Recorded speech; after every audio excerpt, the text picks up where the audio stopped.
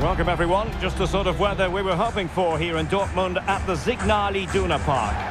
I'm Derek Ray. Terms, moving the ball nicely. He's in with a chance. And there it is, 1-0. Their efforts have been rewarded. And look at the celebrations.